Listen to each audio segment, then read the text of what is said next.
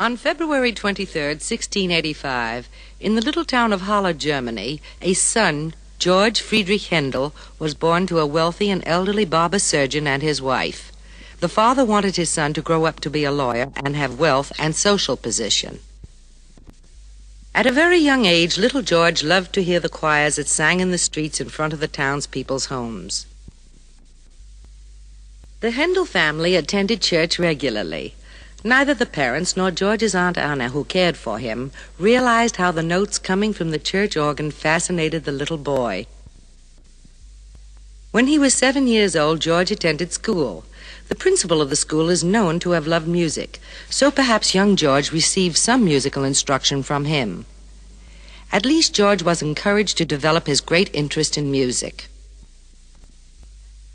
It has been said that one night a small keyboard instrument called a clavichord was smuggled into the attic by George's Aunt Anna and some of her friends.